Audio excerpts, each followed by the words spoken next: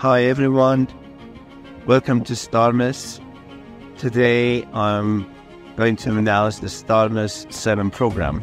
I'm at Teide Observatory, my home observatory. This is where I met Brian May. This is where Brian started his PhD. This is where actually I started my research back in 97. So it's very interesting that I'm announcing Starmus program here at Teide Observatory. Well, I think this is going to be the most ambitious Starmus Festival, Starmus 7. We have amazing lineup from Jane Goodall to Kam Ghaffarian, Martin Rees, uh, Emmanuelle Charpentier, Tony Fadell.